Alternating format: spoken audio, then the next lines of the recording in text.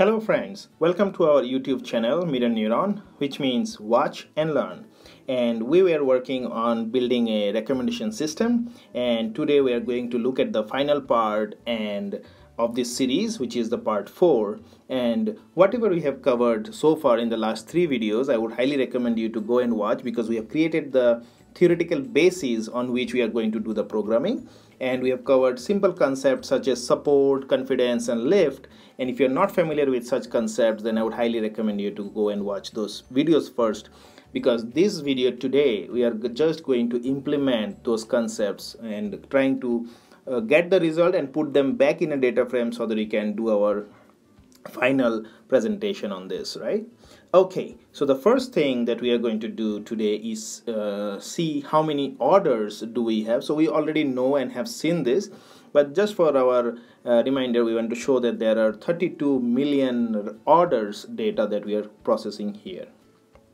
Okay the second thing we need some helping function here so that we can find how many times an item is repeating okay and how many order items do we have? So when you say order items that means how many items there are in total that has been ordered. So yes one item suppose apple is an item and how many times that apple has been ordered.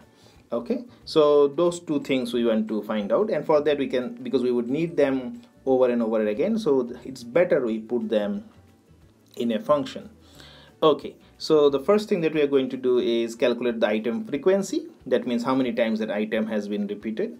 And also you want to see the support. So if you are not clear on this concept of support, uh, I'll try to explain it shortly here. But then for the complete explanation along with examples, uh, I would highly recommend go and watch the part 1, 2 and 3 okay. So item stats. So you can see that just by a simple calculation we get to see the item number 24852 so it could be a product. Say for example apple. So it has appeared around 47 uh, it's around 4 lakh 72000 uh, in in Indian uh, terminology. It's 4.72 lakhs. Um, so that means that many number of times it has been ordered and so we can see a very high support value for that one around 15 percent. Okay great. So similarly we can see that the enter all the items and we can see what is their frequency and the support. There will be items uh, which will be ordered very less. As you can see 30087 has been ordered very frequent very uh, infrequently. That means very limited number of times. Okay. So how this calculation was done? As i was telling you there are 3214874 unique uh, so basically it's 3.2 million um, unique records for the order and it was uh, say the first item was ordered 472565 times so we can see the support is around 14.6 percent. If i scroll back up so you can see the first one is 14.6 okay that's the definition of support.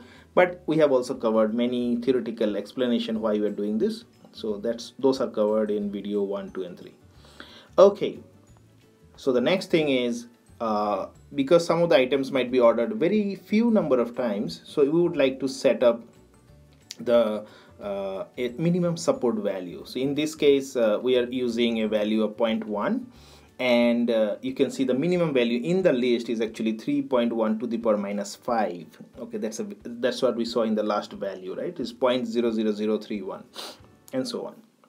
So why we are doing this? Because we don't want to unnecessarily take all the items which was not even ordered even couple of times to use for our recommendations right? Then it will skew our uh, recommendation system. That is the main reason behind using this support concept.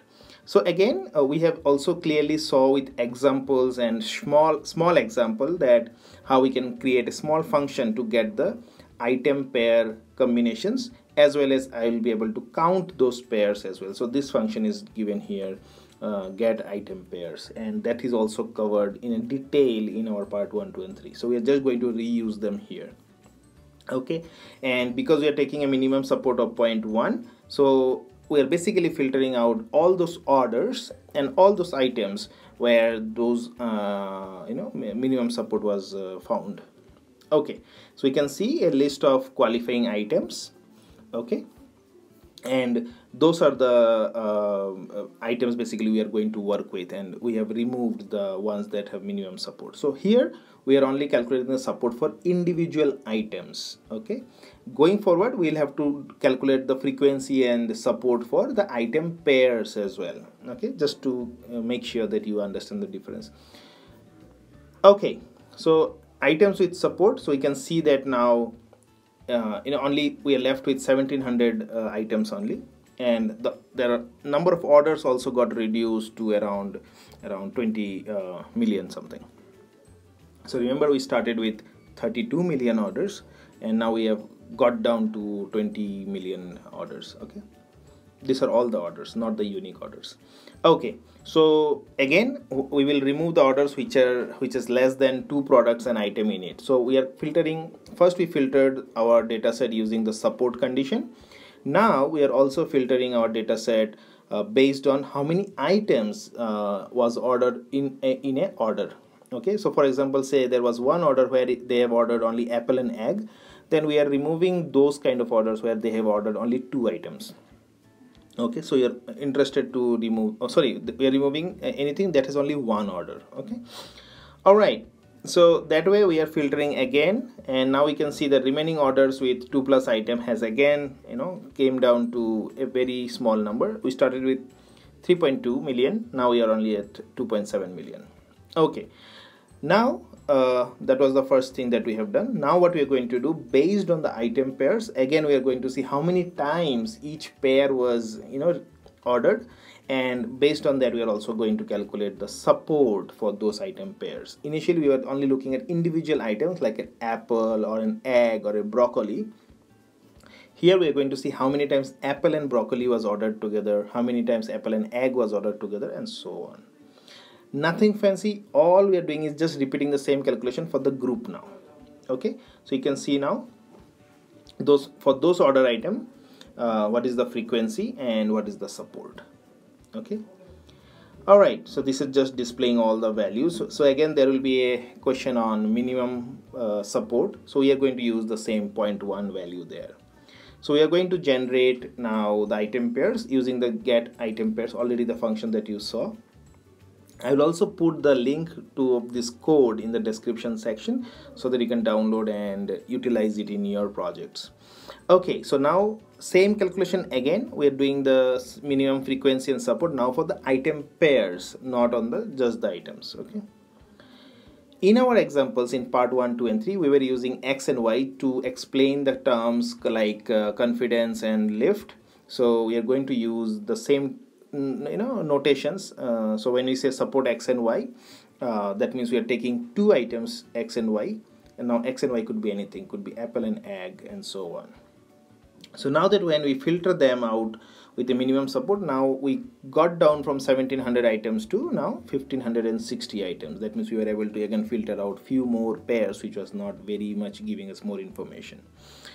All right so now let's put them all together and it's always convenient to put them in a function.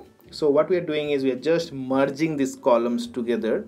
And once we merge them then basically we'll have this frequency frequency of one particular item the support of one particular item. Then we'll also get the frequency of the other item and the support of that item and so on. And eventually also bring them together with confidence of x to y confidence of y to x and so on these terms as I, was, as I keep saying it keeps me reminding that some people might start with this particular video. So I would definitely encourage you to go and watch part 1 2 and 3 okay. So now that we uh, also want to highlight and repeat here that confidence from A to B is different compared to confidence uh, B to A. Similarly, confidence from X to Y is different from confidence Y to X as I have explained in part 3 okay so now that we you know we were able to calculate these are all if you see just dividing one ratio with the another one right? Nothing fancy we have done so far.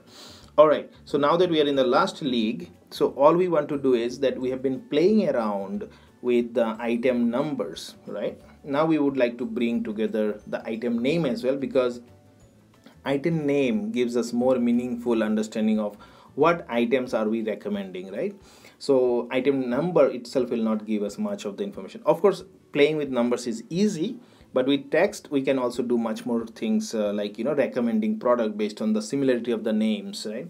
But of course that is beyond the scope of this project for this for the time being. We hope to bring you you know we we definitely wish to bring you such project as well in the near future when we work with natural language processing kind of projects. But for now understand that we are just using the item number for the recommendation purpose but going forward we can use the name also for making our recommendation system even better.